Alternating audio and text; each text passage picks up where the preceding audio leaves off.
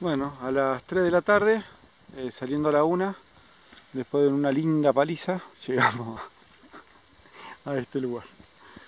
Al extremo este de la laguna sería, ¿no? Sí.